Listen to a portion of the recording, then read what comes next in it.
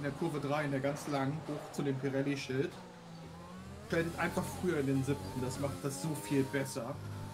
Einfach bevor man bei 6 in Drehzahl begrenzt ist, wenn man den ersten Punkt sieht, einfach ein Hoch, die erste LED.